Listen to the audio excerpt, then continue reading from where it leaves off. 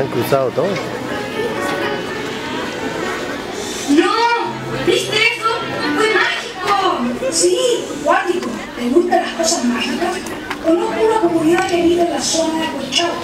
Allí el sol no quiere salir, así que la uva no madura. Eso trae cesantía y desolación a sus habitantes. Cansados de esperar, deciden recurrir a un ritual para llamar al sol. Shh, observa cómo